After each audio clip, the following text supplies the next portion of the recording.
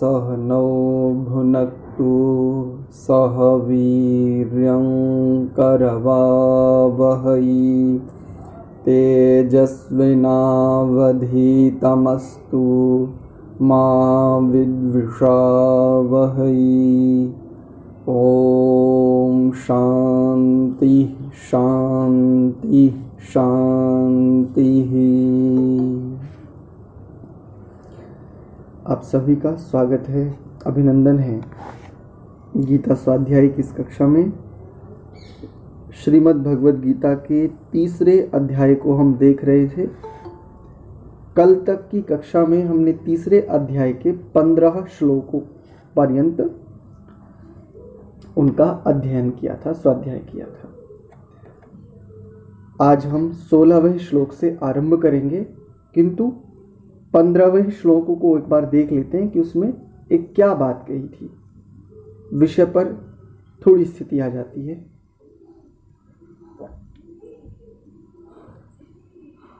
पंद्रहवा श्लोक था, कर्म ब्रह्मोद्भव विद्धि, ब्रह्माक्षर समुद्भवम तस्मात् सर्वगतम ब्रह्म नित्यम यज्ञ प्रतिष्ठितम। पीछे बात कही थी कि कौन निष्पाप हो सकता है, कौन पाप खाता है, कैसे करना चाहिए? अन्न आदि कैसे उत्पन्न होते हैं? पर्जन्य अर्थात वर्षा आदि किस प्रकार से? वो पूरा चक्र की बात कही थी। तो उन सारे चर्चाओं को केंद्रित करके यहाँ एक मुख्य बात कहना चाहते हैं कि वेदों में जो नियमित कर्म है, जिन कर्मों का विधान है अर्थात वेदों में दो प्रकार की स्थितियाँ मिलती हैं। एक आज्ञा परक और एक निषेध परक दो प्रकार की स्थितियाँ ही वेदों में मिलती हैं। ये करना चाहिए और ये नहीं करना चाहिए। तो जिसको करना चाहिए, उसको कहते हैं आज्ञा परक विधि। और जो नहीं करना चाहिए, उसको कहते हैं निषेध परक विधि। तो कह रहे हैं, वेदों में जो कर्मों का विधान है जिस प्रकार के, और ये वेद किससे प्रकट हुए हैं? तो कहते हैं, साक्षात श्री श्री भगवान से, ब्रह्म अक्षरम। उससे प्रकट हुए जो अक्षर न क्षरति इति अक्षर, जिसका क्षरण नहीं होता, क्षय नहीं होता, जो विनाश को प्राप्त नहीं होता, जिसकी मृत्यु नहीं होती। क्योंकि मृत्यु उसी की संभव है जिसका जन्म हुआ हो। भाई जिसका उद्भव हुआ हो, उसी को तो कहेंगे कि हाँ एक दिन ये विनाश को प्राप्त हो जाएगा। तो कह रहे अक्षर, ऐसे अक्षर ब्रह्म से वेद प्रकट होते हैं। तो क्या करे तस्मात सर्वगतम ब्रह्म। अब सर्वगतम शब्द का अर्थ कल भी खोला था कि सर्वगतम का, चूँकि गत शब्द को देख करके हम, चूँकि गमद्री गत इसमें धातु है तो इसको देख करके हम प्राय ऐसा सोच लेते हैं कि जो चहोर गमन करता है। तो गमन करने वाला एक देशी होगा और एक देशी सर्वज्ञ नहीं हो सकता। तो उसमें फिर सर्वज्ञ ना होने का दोष आएगा, जो एक देशी होगा, क्योंकि गमन एक देशी का ही संभव है। सर्वव्यापक का गमन संभव नहीं हाँ। उसकी व्याप्ति तो संभव है, क्योंकि जो सर्वव्यापक है, उसकी व्याप्ति चहूर है, ऐसा। तो सर्वगतम अर्थात जिसकी चहूर व्याप्ति है। इसको सरल शब्दों में कहें तो जो चहूर लबालब भरा हुआ है। एक उदाहरण दिया जाता है, जैसे रसगुल्ला होता है ना तो रसगुल्ले में रस और रस में रसगुल्ला, दोनों जैसे डूबे हुए हैं। तो हम सब भी ऐसे ही हैं। परमात्मा हमारे भीतर भी है और बाहर भी है। यानी आत्मा के भीतर भी परमात्मा है। और अब उससे बाहर जो भी कुछ है, सब में परमात्मा है। लेकिन सब कुछ परमात्मा, ये ठीक नहीं अच्छा एक दोष आता है प्रायः। चलो एक छोटा सा निराकरण किए देता हूँ। जब हम परमात्मा को सर्वव्यापक, सब जगह ऐसा मानते हैं तो हमारे मन में प्रायः कई शंकाएँ उत्पन्न होती हैं। लेकिन सबसे मुख्य जो शंका आती है, वो ये आती है तो फिर तो परमात्मा मल में भी हुआ। तो परमात्मा तो मैला हो गया। अरे, उसमें से तो बड़ी दुर्गंध आएगी, क्योंकि मल से तो दुर्गंध ही आती है ना। प्रायः एक एक प्रश्न खड़ा होता है भीतर ही एक ऊहापोह आती है, कि यदि सर्वव्यापक परमात्मा है, वो तो मल में भी होगा। और यदि मल में परमात्मा है तो बड़ा दुर्गंधित है परमात्मा तो। ऐसे परमात्मा से तो भगवान बचाए। हैं? ऐसा प्राय आता होगा। तो देखो,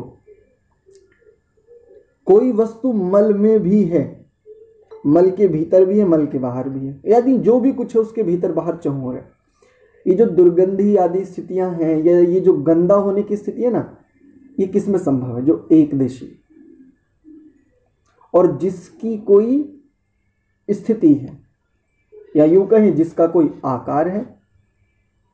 हम्म आकार वाली स्थिति में तो ये घटित हो सकता है। अब जिसका आकार ही कुछ ना हो,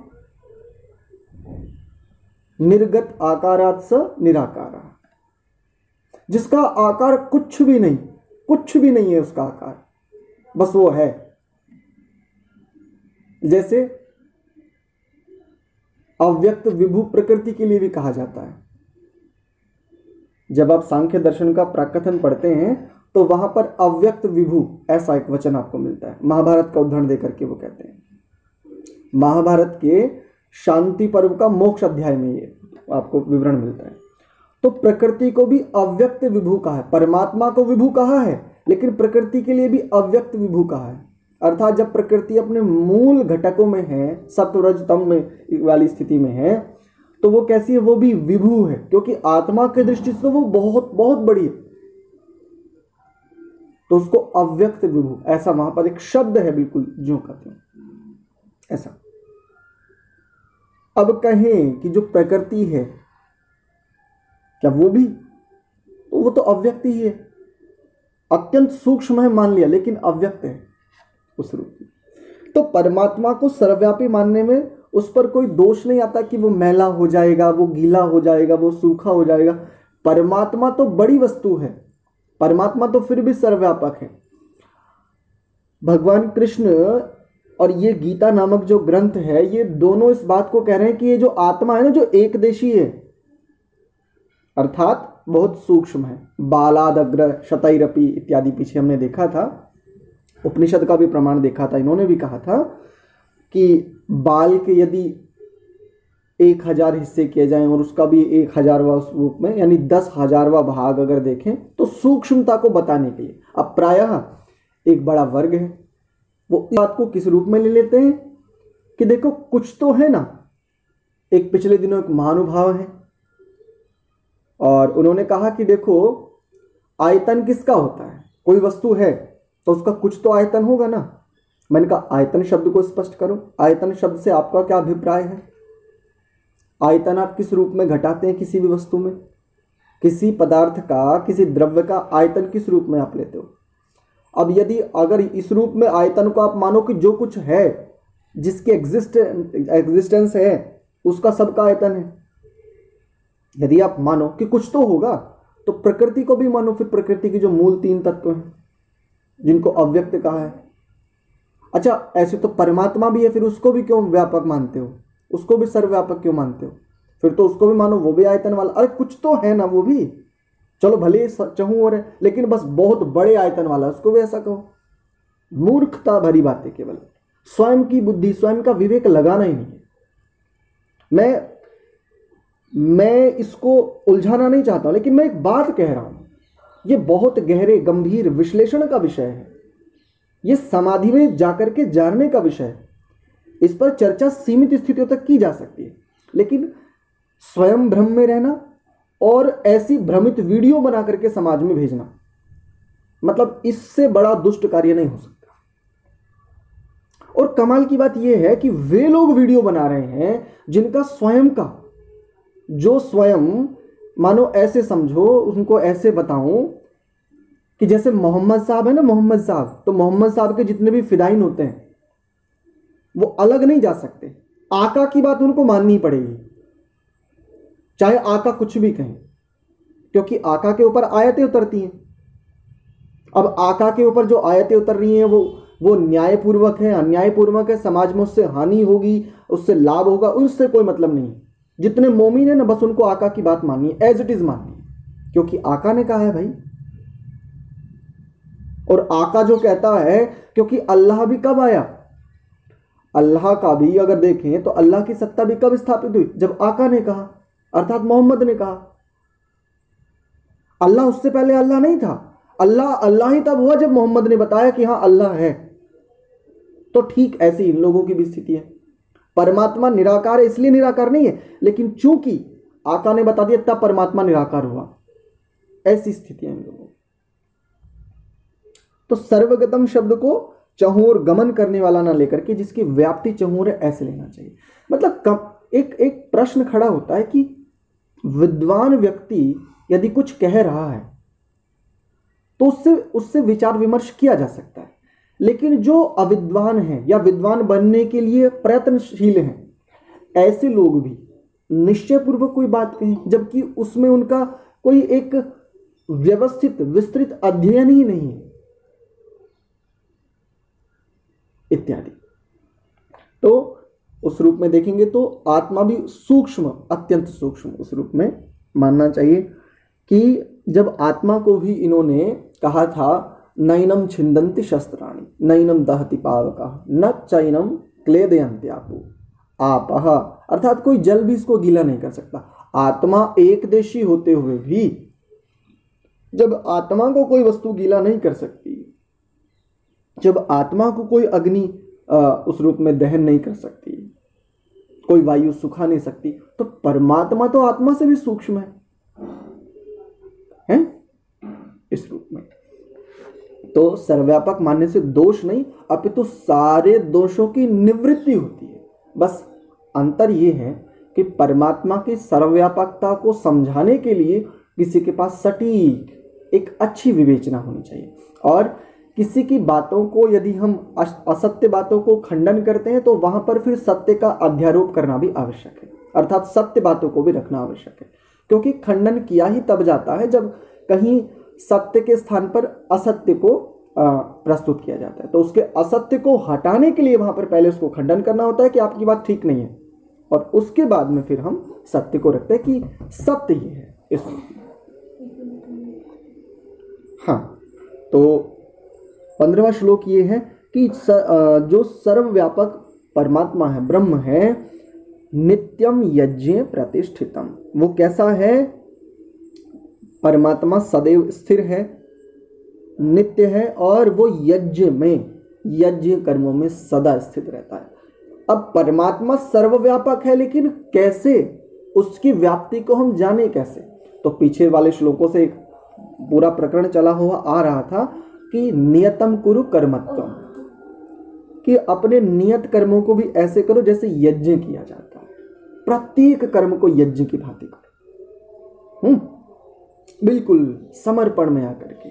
क्योंकि जो भी कुछ कर पा रहे हो ना, अरे श्वास, प्राण तो ये दूर की बात है।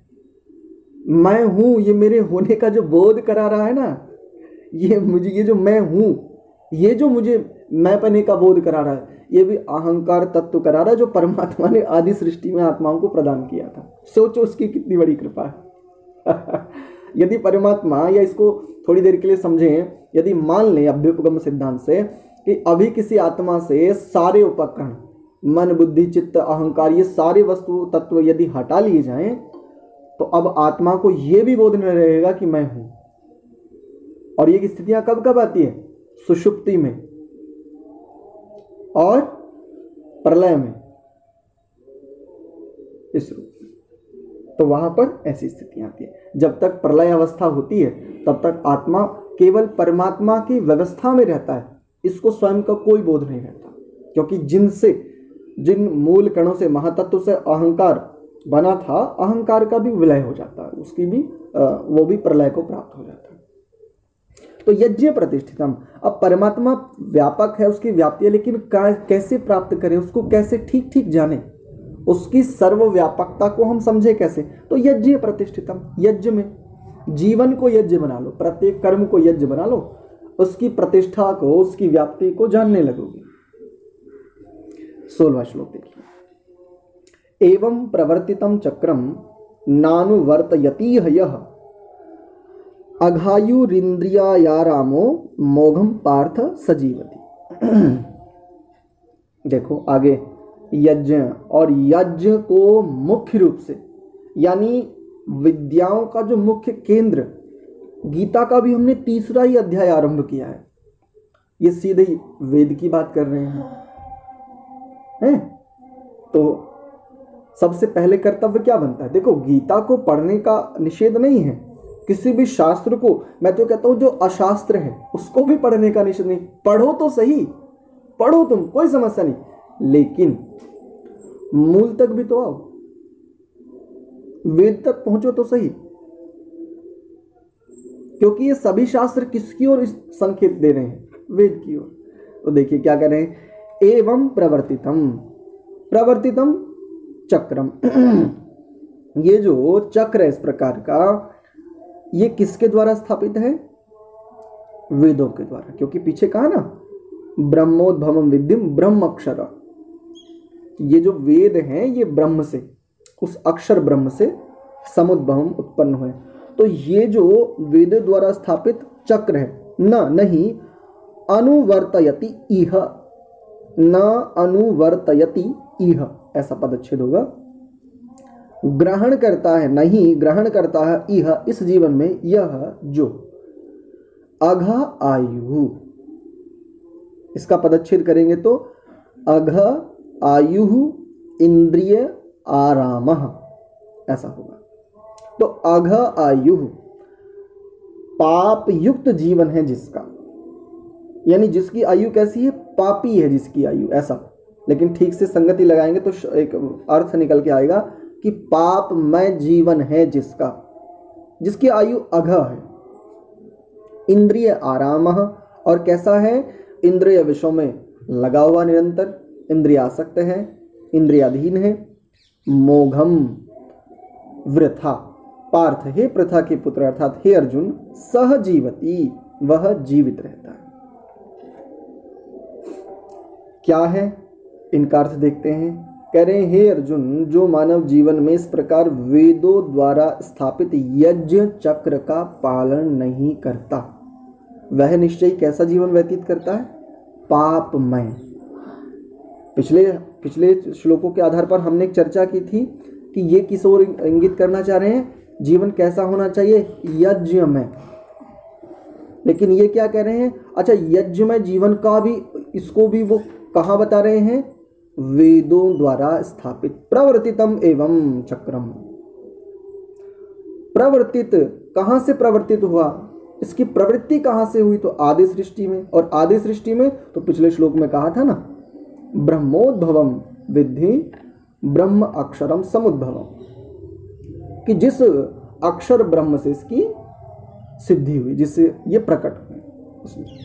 तो यज्ञ चक्र की इसमें एक बात की तो ये यज्ञ चक्र क्या है वस्तुतः? एक तो इस पर चर्चा कर लेते हैं, और ऐसा व्यक्ति क्या है? केवल इंद्रियों की तुष्टि के लिए व्यर्थ ही जीवित रहता है। यहाँ पर एक छोटी सी चर्चा कर लेता हूँ, दो बातें इसमें मुख्य रूप से जिन पर मैं चर्चा करूँगा।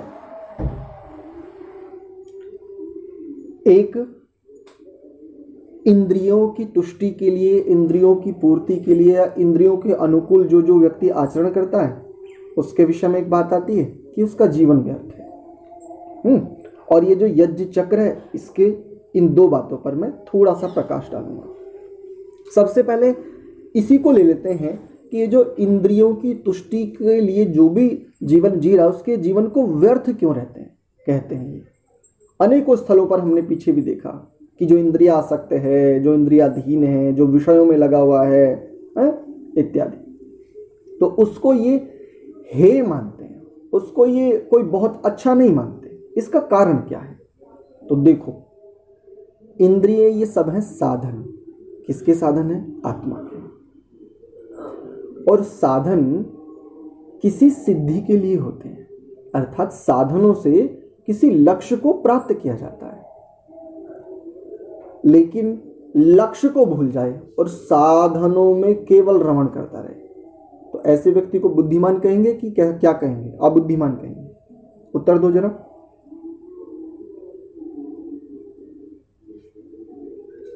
नई बात पकड़ में आई। मान लो किसी के पास कोई व्हीकल है, और व्हीकल किस लिए होता है? किसी यात्रा की, यात्रा को तय करने के लिए, कि सुरक्षित और समय से। दो ही उद्देश्य होते हैं किसी व्हीकल की। अपना निज व्हीकल किसी के पास हो, वाहन हो, उसके दो उद्देश्य होते हैं कि हम सुरक्षित और समय से आवागमन कर सकें। तो व्हीकल अर्थात वाहन का उद्देश्य, वाहन जो, वाहन रूपी जो साधन है, इसकी इसकी सिद्धि किस लिए? यात्रा के लिए। और कोई यात्रा ना करे, बस कहीं पार्क में या कहीं ऐसे स्थान पर जहाँ कहीं बस केवल घुमाता रहे, गोल गोल गोल गोल घुमाता रहे, व्यर्थ ही घुमाता रहे। तो उसको बुद्धिमान कहेंगे या अबुद्धिमान कहेंगे? बिल्कुल। ठीक ऐसे ही इस आत्मा को ये जो साधन मिले ना अंतकरण इंद्रियाँ ये जो चौबीस तत्व है सीधे सीधे कहूँ तो। चौबीस तत्वों के साथ ये जो पच्चीसवा आत्मा है पच्चीसवें आत्मा को चौबीस तत्व मिले सृष्टि में चौबीस तत्व ही हैं जो आत्मा के साथ रहते हैं। और इन्हीं को जानना पड़ता है इनको जान करके इनसे जो पृथक होने की स्थिति है इनको ठीक ठीक जान करके इनसे पृथकत्व, उसमें जो अवस्थिति है, बस उसी को वो उस रूप में अपवर्ग निश्रेष आदि रूप में कहते हैं। तो केवल साधनों में ही जो रमण करे और साधनों का उद्देश्य क्या ये ना जाने? तो ऐसे व्यक्ति भले ही चाहे सौ वर्ष जिए, किस लिए जिया? उसके जीवन का उद्देश्य क्या था?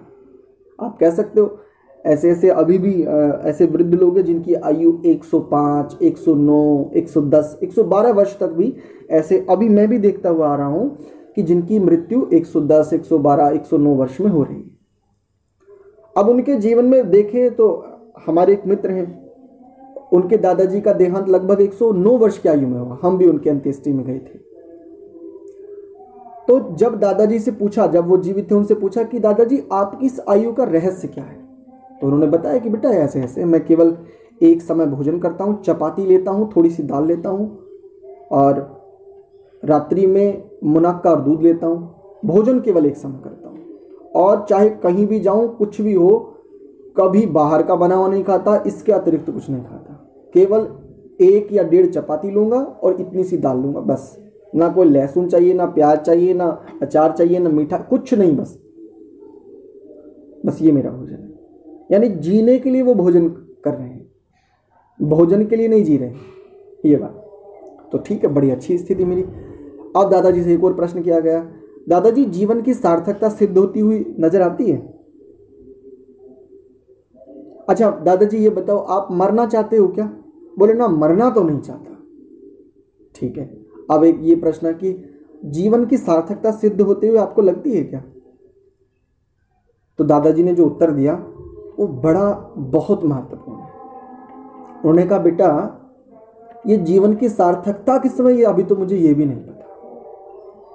या इस जीवन की कोई सार्थकता भी हो सकती है? मैं नहीं कह सकता। मेरे लिए तो सार्थकता इतनी है, मेरे पोते हैं, बच्चे हैं ये इतना सारा इन सब लोगों के लिए, और बस ये खुश हैं बस ये।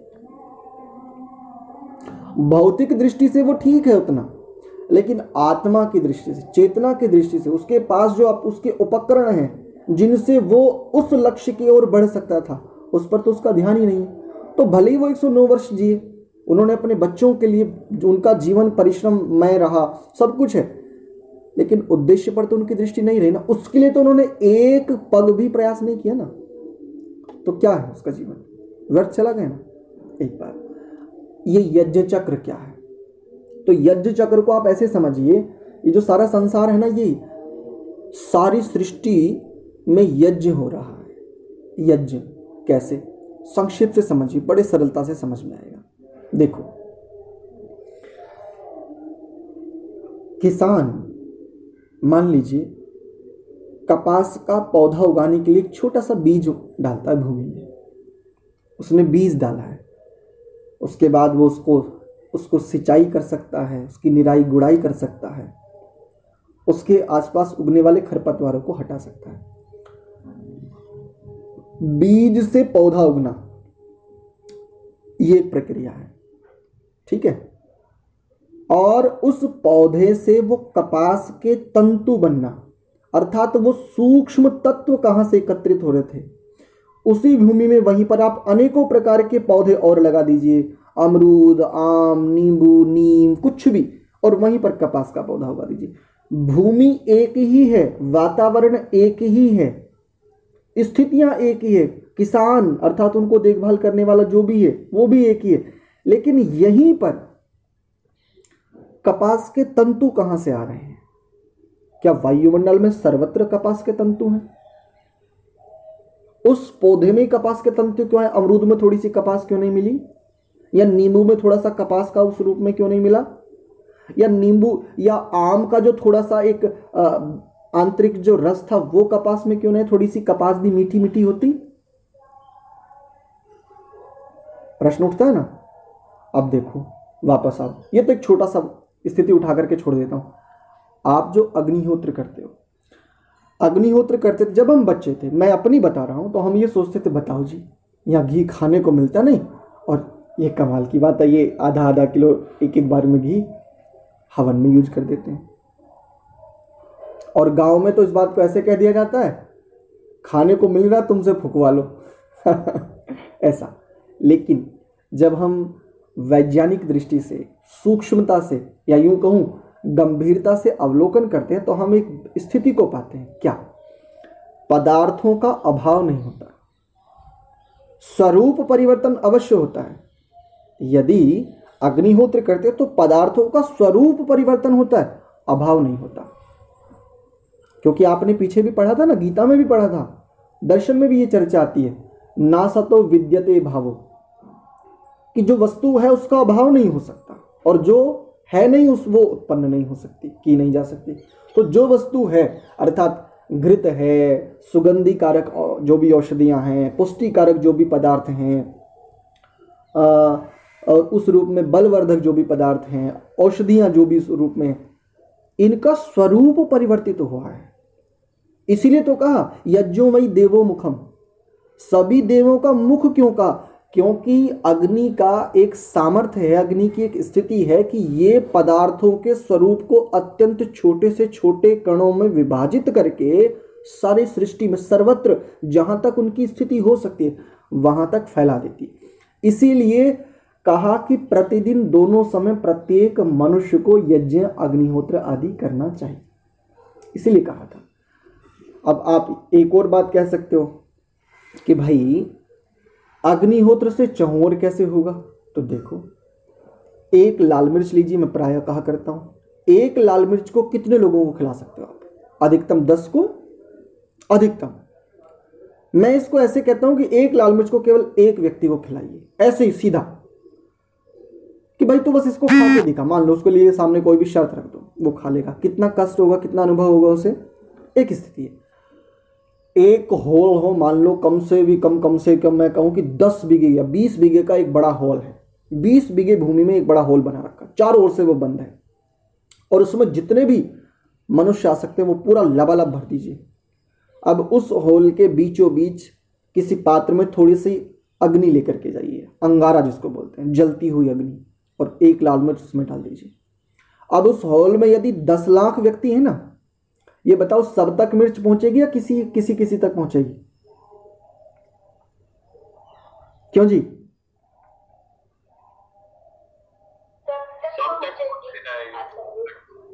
यदि अग्नि में, जी, यदि अग्नि में पदार्थों को डालने से, अग्निहोत्र करने से, यज्ञ करने से, हवन करने से यदि पदार्थों का नाश होता है तो इस मिर्च का नाश क्यों नहीं होता? जब हुआ, क्योंकि ये, जबकि ये मिर्च एक ही मिर्च थी केवल, और एक ही मिर्च इतने गुना बढ़ गई, उसकी शक्ति, उसका सामर्थ्य इतने गुना बढ़ गया, कि एक व्यक्ति को कष्ट देने वाली मिर्च अब लाखों, अगर लाखों कहूँ या उससे भी अधिक स्थिति में वहाँ हो तो उन सबको बराबर मात्रा में, उनकी नाक में से धुएँ और आँख में से पानी निकाल रही इससे क्या सिद्ध होता है? अग्निहोत्र आदि से पदार्थों का अभाव नहीं होता, वो नष्ट नहीं होते, अपितु विभक्त हो जाते हैं अत्यंत सूक्ष्म कणों में। ठीक, बस यही यज्ञ चक्र चल रहा है। सभी पदार्थों को अग्निहोत्र में नहीं डाला जाता, लेकिन जो पदार्थ सृष्टि के संतुलन में आवश्यक हैं। एक प्रश्न ये आता है कि फिर आचार्य जी अग्निहोत्र में मिर्च क्यों नहीं डालते? नमक क्यों नहीं डाला जाता? और अन्य मसाले जो जैसे हरा धनिया, सूखा धनिया है, इलायची है, ये सब, इलायची का तो यद्यपि प्रयोग किया जाता है तो ऐसे पदार्थ क्यों नहीं डाले जाते? तो देखो, संतुलन के लिए पदार्थ तो तो उस रूप में देखें तो सत्व को स्थिति परक का सत्व को उस रूप में ज्ञान परक कहा जाता है, रज को उस गति परक कहा जाता है, तम को स्थिति परक कहा जाता है, ये जो तीनों तत्व हैं। किंतु संतुलन के लिए जो सबसे महत्वपूर्ण आवश्यक है तो उसका निर्धारण इस रूप में किया गया कि केवल इन इन पदार्थों को यज्ञ में डालना चाहिए। अब जो यज्ञ में डाला, वो सर्वत्र फैला। अर्थात आकाश में चढ़ा। और जो वर्षा होगी, अब वर्षा से वही आकाश में चढ़े हुए सूक्ष्म कण पुनः वापस आएँगे। तो यज्ञ के द्वारा आपने जो सर्वत्र वायुमंडल में जो भी स्थितियाँ फैलाई है, सूक्ष्म रूप में गैस कह लीजिए। हम्म जो गैसें तो गैस रूप में जो वायुमंडल में फैला हुआ है अब पर्जन्य जब स्थिति होगी, वर्षा होगी तो वही नीचे आएँगी भूमि में। और जब वर्षा के साथ वो नीचे आएँगे तो अब जो उगने वाली वनस्पतियाँ हैं, औषधियाँ, वो कैसी होंगी? अत्यंत शुद्ध। इसी को यज्ञ विज्ञान, इसी को अग्निहोत्र विज्ञान, और उस रूप में जिसको इसी को इन्होंने क्या कहा? यज्ञ चक्र। इसी को ये कह रहे हैं। कि जो यज्ञ चक्र का पालन नहीं करता। क्योंकि इसकी संगति तभी लगेगी पीछे कहा था कि जो यज्ञ नहीं करता वो पाप खाता है। वो पापी है। अब यहाँ पर एक बात कहना है कि भाई, ऐसा जो व्यक्ति है, एक स्पष्टता के लिए बता दिया कि जो केवल इंद्रियों के लिए लगा हुआ है तो वो तो पापी है। उसका जीवन तो व्यर्थ है। और यज्ञ चक्र का जो पालन नहीं करता तो यज्ञ चक्र का पालन कब कर पाएगा? जब यज्ञ चक्र को समझ पाएगा। तो यज्ञ इस रूप में हमें लेना चाहिए। एक छोटी छोटी मोटी मोटी सी बात मैं कह रहा हूँ, शायद मैं समझता हूँ कि स्पष्ट हुई होगी स्थिति। ठीक है? सत्रवा श्लोक देखिए। यस्वात्म रतिरेव सैदात्म त्रिपत त्रिपतश्च मानव आत्मन्येव च संतुष्ट, संतुष्टस्तस्य कार्यम न विद्यते। कह रहे हैं? यह, तू आत्मरति एव। निश्चय ही जो आत्मा में आनंद लेते हुए अर्थात स्वयं में ही जिसकी स्थिति है, ऐसा। एवं, निश्चय ही, स्यात जो रहता है। आत्मतृप्त और कैसा है? आत्मतृप्त है, अर्थात स्वयं में ही, स्वयं से ही प्रकाशित है, स्वयं में ही स्थित है। च, और मानव। मनुष्य, आत्मन्येव, आत्मनि एव, अपने में, केवल अपने में च और संतुष्ट तस्य। जो संतुष्ट है, उसका कार्य न विद्यते। कर्तव्य नहीं रहता है। एक बात यहाँ पर आ रही है। जो व्यक्ति आत्मा में ही आनंद लेता है अर्थात स्वयं में स्थित रहता है, जिसका जीवन आत्म साक्षात्कार युक्त है, और जो अपने में ही पूर्णतया संतुष्ट रहता है, उसके लिए कुछ करणीय नहीं होता। अब शुरू शुरू में देख रहे थे तो ऐसा लग रहा था कि यहाँ पर पहले तो कहा था कि नियतम कुरु कर्मत्वम एक उस श्लोक को लें और इस श्लोक को लें तो दोनों में विरोध प्रतीत होता है कि वहाँ पर कर्म को इन्होंने कहा था कि नियत कर्म तो करने चाहिए और ऐसे करने चाहिए जैसे यज्ञ। लेकिन इस श्लोक को देख करके ऐसा लगता है कि यहाँ पर कुछ भी ना करने की बात कर रहे हैं। वहाँ कर्मण्यता का, वहाँ कर्म प्रधान को, प्रधानता की स्थिति बता रहे हैं और यहाँ पर अकर्मण्यता की बात कर रहे हैं। ऐसा प्रायः प्रथम दृष्टि ऐसा हमें लगता है। लेकिन बात को समझिए कि क्यों ऐसा कह रहे हैं। ये जो कर्तव्य कर्म है ना, समस्त कर्तव्य कर्म कब तक है? जब तक आप आत्म केंद्रित नहीं हो जाते जब तक आप स्व केंद्रित नहीं हो जाते जिस दिन आप सत्व के लिए,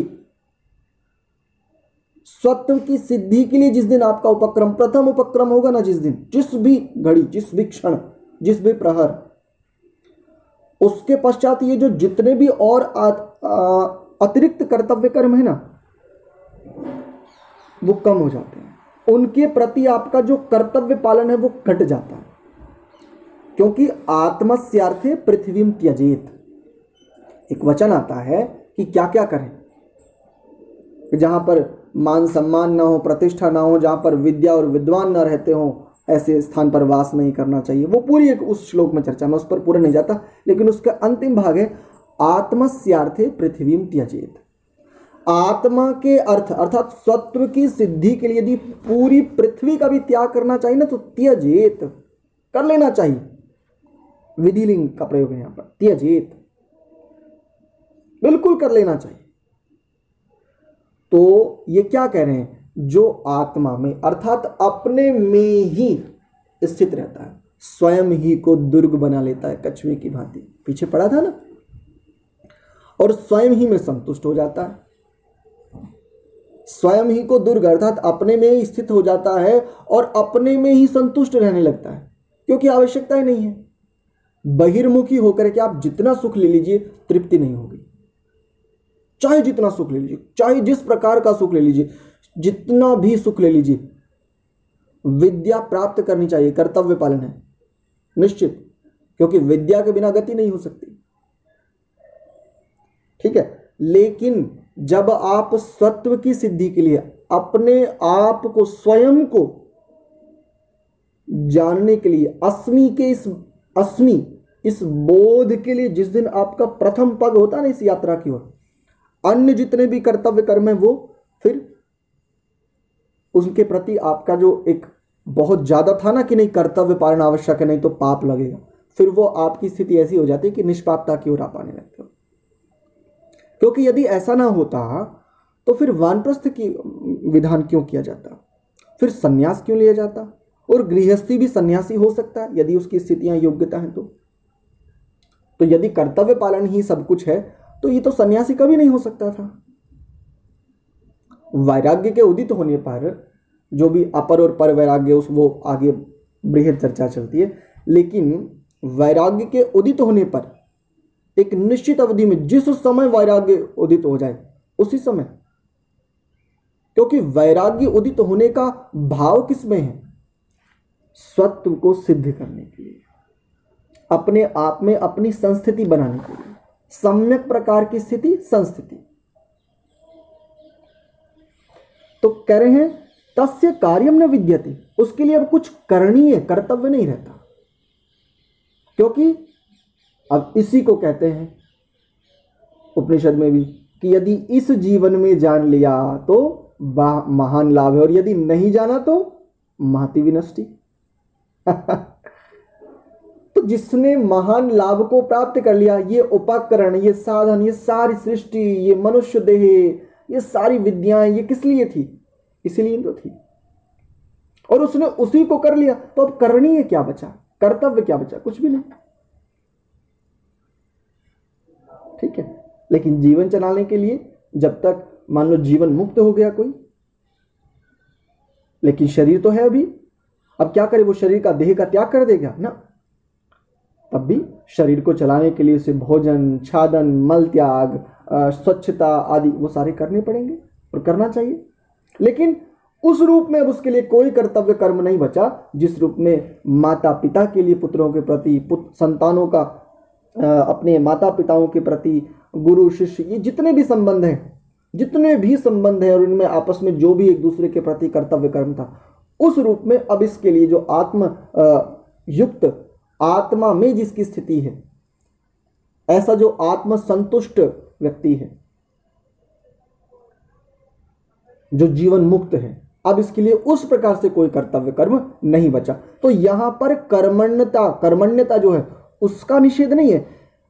क्या कर्तव्य कर्म कब हट सकते हैं? इन कर्तव्य कर्मों से भी हम कब पार जा सकते हैं? एक प्रश्न होता है प्रायः जो थोड़े से आयु में बड़े होते हैं, उनके मन में एक शंका आती है। बताओ। ये अच्छे आचार्य मिले हैं। ये अच्छे विद्वान है, बताओ। कहते हैं, वान प्रश्न ले लो। मेरे बच्चों का क्या होगा? कितने मेहनत से मैंने अपने बच्चों को पाला है? ये मेरी बेटी, कैसी फूल सी बेटी है? मैं बताओ, इसको छोड़ के चले जाऊँ? अजीब अजीब लोग हैं ये लोग। बोले वान प्रश्न ले लो, वन प्लस ले लो, कमाल की बात है। मेरा कर्तव्य नहीं है इनके प्रति, और प्राय माँ के मन में अधिक आता है। क्योंकि माँ जिस प्रकृति से, अर्थात माँ के पास, जो चेतना के पास, जो शरीर रूपी प्रकृति है, वो एक भिन्न प्रकार की उसके अलग हार्मोन्स हैं। उसमें अलग केमिकल लोचा होता है। तो वो क्या कहती है? अच्छा इनकी बात मान लो। मेरी बेटी के प्रति मेरे कर्तव्य नहीं है। मैं कैसे छोड़ के चली जाऊँ? अपने पोते को कैसे छोड़ दूँ? भरा पूरा मेरा संसार है। बात तो ठीक है। भरा पूरा संसार है। लेकिन जिस दिन तू चेत जाएगी ना माँ, उस दिन तुझे बोध होगा कि मुझे इसके भी पार जाना है। ये जीवन के नित्य कर्तव्य नहीं है।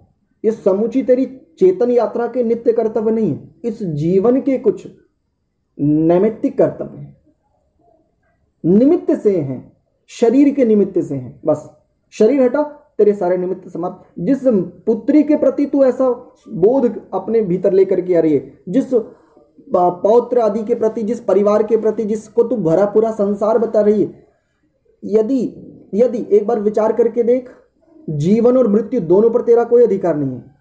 ना तो किसी को जीवन दे सकती है ना किसी को मृत्यु दे सकती है।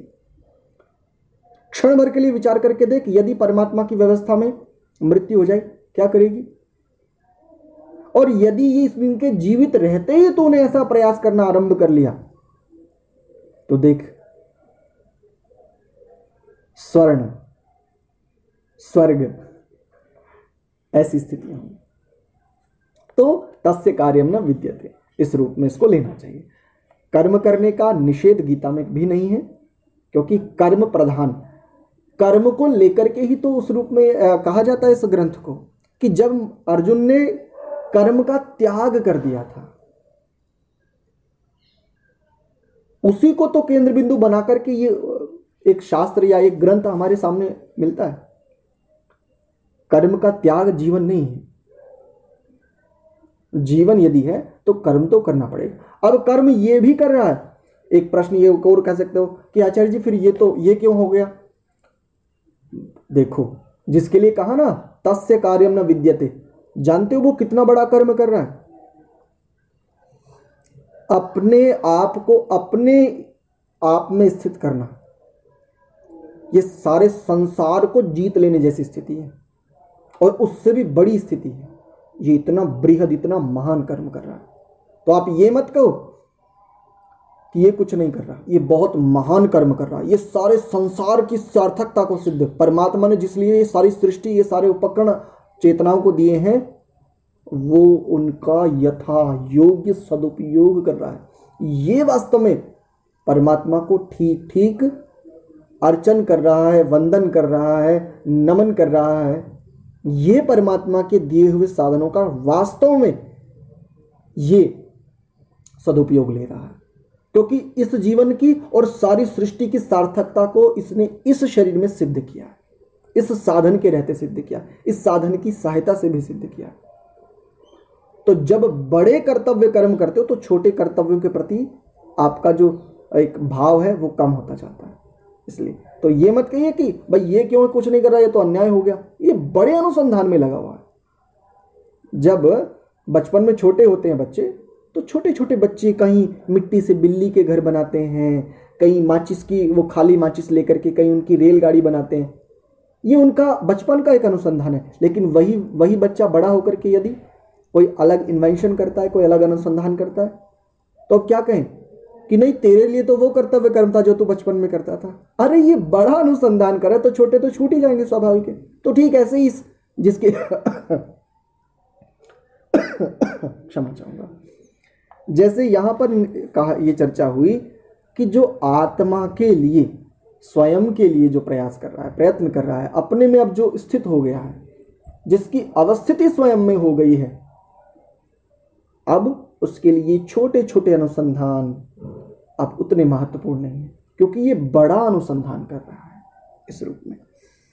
अठारवा श्लोक देखिए, नैव तस्य कृतेनार्थो, न कृतेनेह कश्चन, न चास्य सर्वभूतेषु कश्चिदर्थ व्यपाश्रय। सात बजकर के सोलह मिनट हो गए हैं। एक काम करते हैं। अनुपमा जी का एक प्रश्न आया था व्हाट्सएप पर मुझे। इन्होंने एक प्रश्न किया था।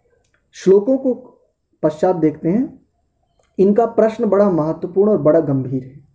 इनका प्रश्न था कि आचार्य जी, हमारे जीवन में बहुत अधिक व्यस्तता रहती है और जो थोड़े सजग हैं, जो थोड़े गंभीर हैं, वो एक विचार प्रायः करते हैं। जब जब वो स्वाध्याय की इस श्रेणी में आते हैं कि हम अंतर्मुखी कैसे हैं?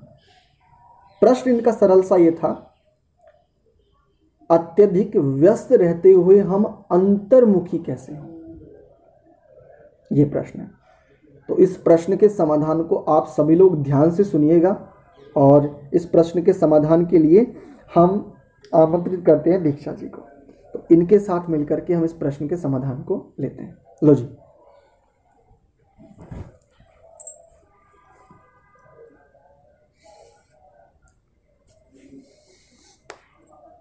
आप सभी को नमस्ते जी। अनुपमा जी का जो प्रश्न है, वो प्रत्येक व्यक्ति का प्रश्न है, हमारा भी प्रश्न है।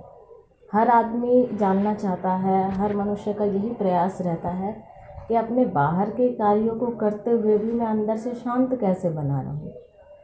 यानी ऐसी स्थिति क्या हो कि मेरे बाहर के सभी कार्य व्यवहार भी संपादित होते रहें और मेरी आंतरिकता भी ना बिगड़े? अंदर से मेरी स्थिति मुझमें स्वयं में स्थित हो, स्वयं में आश्रित हो। जैसे यहाँ पे अभी आपका एक श्लोक चला हुआ है कि दूसरे के ऊपर निर्भरता समाप्त हो जाती है आंतरिक रूप से, मानसिक रूप से, और वह जो योगी है, सन्यासी है, साधक है, वह स्वयं को स्वयं का दुर्ग बना लेता है। ऐसी जो कई स्थितियों के विषय में विचार चल रहा है। तो इस स्थिति को हम सामान्य मनुष्य कैसे प्राप्त कर सकते हैं?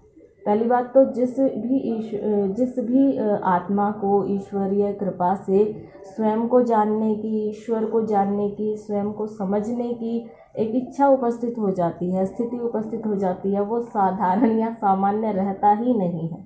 वो साधारण होते हुए भी असाधारण हो जाता है, सामान्य होते हुए भी असामान्य हो जाता है। तो जिसमें भी ये इच्छा या अपेक्षा उपस्थित हो गई है, सबसे पहले तो वो अपने आप को धन्य समझे, एक बात। दूसरी बात कि इस चीज़ को करे कैसे? क्योंकि योग मार्ग पे चलने का हमारा कोई अभ्यास नहीं है, बहुत अधिक शास्त्रों का हमें ज्ञान नहीं है, बहुत सारी योगिक क्रियाओं के विषय में हमें नहीं पता। तो ऐसी क्या स्थिति है जिसको जान करके या वो कौन से एफर्ट है जिनको करके हम इस स्थिति को प्राप्त कर सकते हैं? अभी मैं कुछ बातें कहूँगी, उससे आप सब लोग रिलेट करेंगे। आपको लगेगा कि हाँ ऐसा ऐसा तो हमारे साथ होता है। तो वो कौन सी बातें हैं? प्रत्येक मनुष्य के जीवन में दो प्रकार का संसार होता है। एक आंतरिक संसार और एक बाह्य संसार। उस व्यक्ति के दो संसार होते हैं, एक उस व्यक्ति का आंतरिक संसार होता है और एक उसी व्यक्ति का बाह्य संसार होता है। बाह्य संसार कौन सा होता है? जिसमें रह करके उसे अपने कार्यों, व्यवहारों को करना होता है।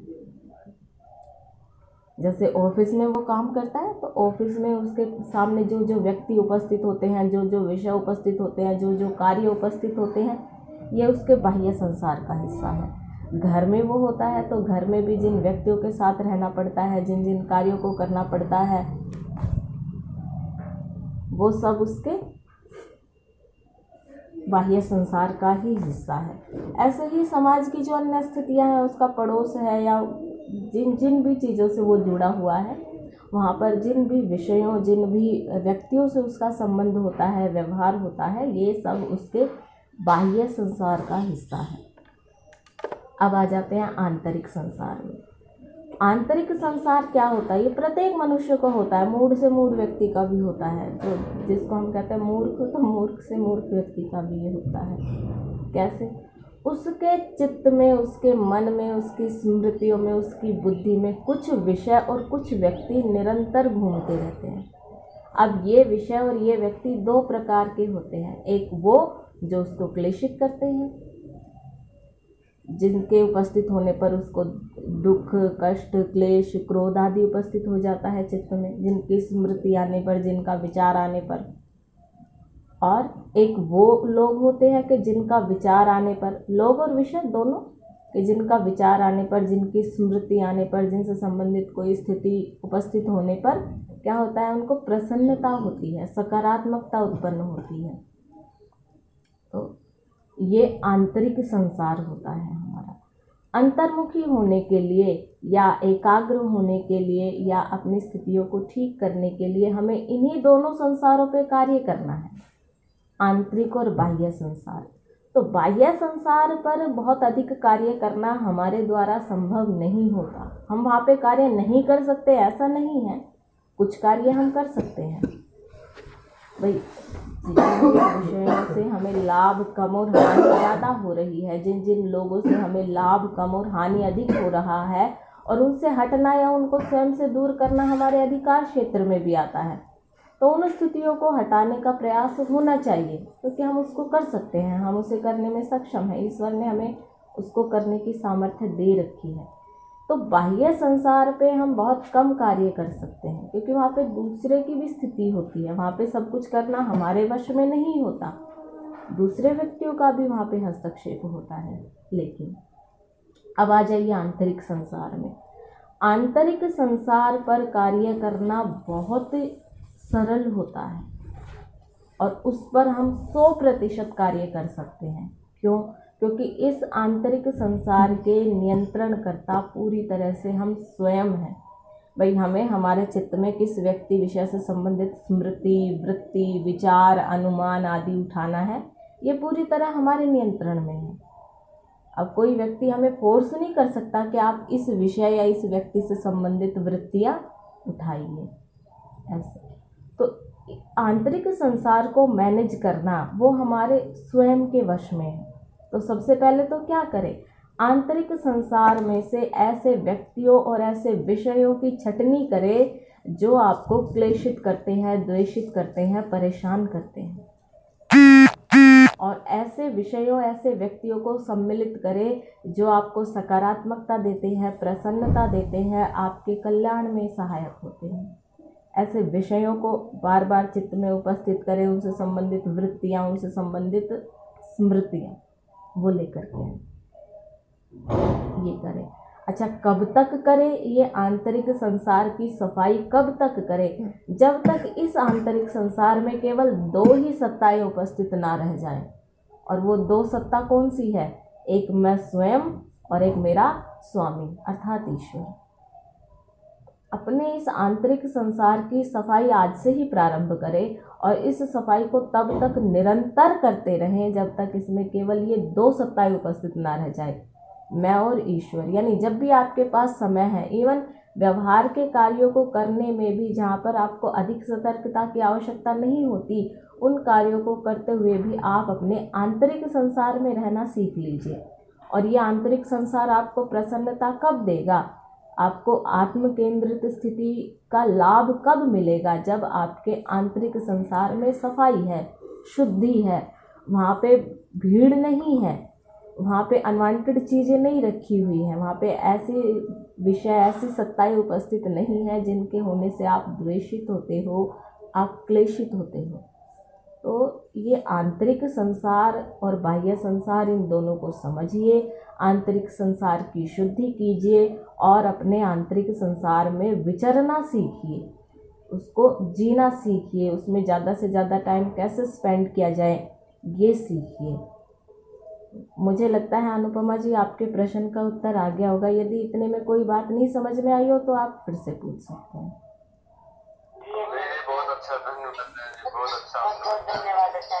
चलिए, एक बात और स्पष्ट करना चाहूँगी। अभी ये आप एक इन्होंने प्रश्न उठाया था और उसका समाधान भी दिया था कि जो ईश्वर है, यदि उस पर ये आक्षेप कोई लगाता है कि मल आदि स्थितियों में भी यदि ईश्वर है तो वो तो दुर्गंध को प्राप्त हो जाएगा या मलिन हो जाएगा। तो योग दर्शन के प्रथम पाद के ही द्वितीय सूत्र में आत्मा आत्मा से फिर वहाँ पे दोनों चीज़ें ग्रहण हुई है, आत्मा और परमात्मा, चेतन सत्ता मात्र के लिए।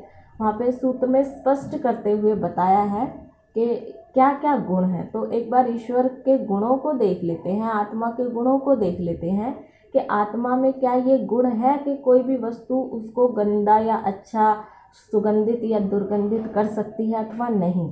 तो यदि नहीं कर सकती तो ये आक्षेप स्वतः हट जाएगा। तो वहाँ पे आत्मा के गुण दिए गए हैं। वो गुण क्या है? चिति शक्ति, अपरिणामिनी अप्रति संक्रमा शुद्धा च, अनंता च। चिति शक्ति, चेतन शक्ति जो है, चेतना जो है, चेतना वही दोनों प्रकार की चेतना। आत्मा है वो भी चेतन सत्ता है और परमात्मा है वो भी चेतन सत्ता है। तो क्योंकि समाधि में दोनों प्रकार की आत्माओं का ग्रहण होता है, आत्मा और परमात्मा दोनों का ग्रहण होता है तो यहाँ पर भी दोनों के ही गुण कहे जा रहे हैं सम्मिलित रूप से। यानी उन गुणों को कहा जा रहा है जो आत्मा और परमात्मा में बिल्कुल सेम है अलग अलग नहीं है। तो वो गुण कौन कौन से है? तो उसके लिए कहा अपरिणामिनी। वो अपरिणामी है, यानी उसमें कोई परिवर्तन नहीं आता। आत्मा में कोई परिवर्तन नहीं आता और ईश्वर में भी कोई परिवर्तन कोई परिवर्तन नहीं आता। उसके गुण कर्म स्वभाव में किसी भी स्थिति में कभी भी कोई भी परिणाम कोई भी परिवर्तन कोई भी बदलाव नहीं आता। अपरिणामनी। और वहाँ पे एक शब्द क्या कहा है? अप्रतिसंक्रमा। आपने एक शब्द पढ़ा होगा अ, संकर। संकर का अर्थ होता है घुला मिला मिला जुला सा। और अप्रतिसंक्रमा तो जिसमें कुछ मिल नहीं सकता, जिसमें कुछ घुल मिल नहीं सकता और जो किसी में घुल मिल नहीं सकता।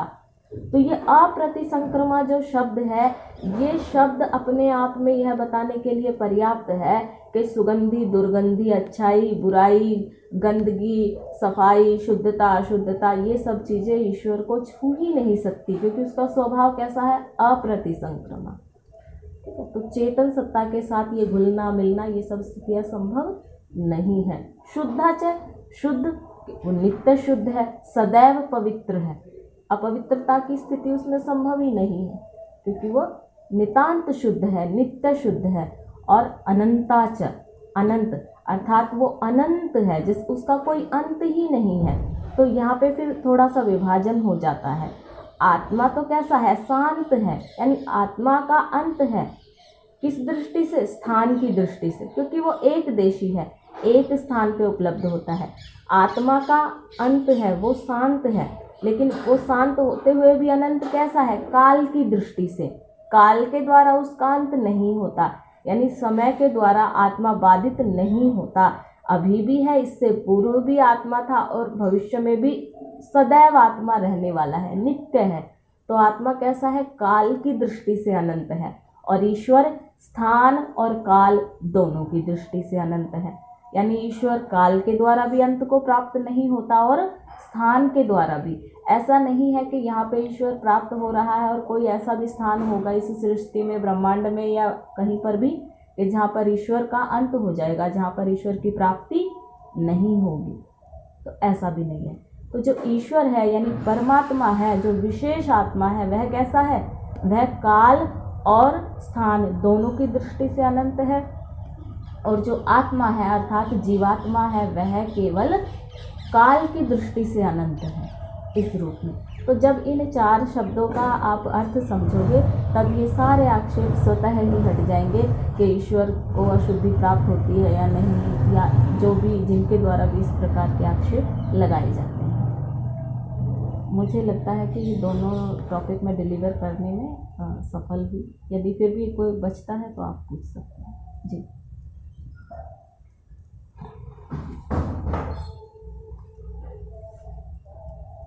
बहुत अच्छी तरह से समझाया धन्यवाद आप। चलिए। तो आज कक्षा का भी समय हो गया है और इस कक्षा को यहीं विराम देते हैं। पुष्पेंद्र यादव जी पुष्पेंद्र यादव जी, नमस्ते। आप कक्षा में बहुत विलंब से जुड़ रहे हैं। इस कक्षा का समय साढ़े छः बजे से साढ़े सात है। तो अभी साढ़े सात हो गए हैं तो कक्षा का तो विराम का समय अभी। फिर भी प्रयास कीजिएगा, कल से समय से जुड़े। तो आज हमने केवल सत्रहवें श्लोक तक ही देखा। अठारहवें श्लोक को हम कल देखेंगे। और आज इस कक्षा को यहीं विराम देते हैं। कल आपसे पुनः अगले विषय के साथ मिलेंगे। आप सभी को प्रणाम। कल तो छुट्टी। कल संडे है हाँ कल अवकाश रहेगा। कल अवकाश रहेगा। कल का तात्पर्य सो कल का तात्पर्य सोमवार। नमस्ते। जी नमस्ते। नमस्ते आचार्य जी। नमस्ते जी नमस्ते।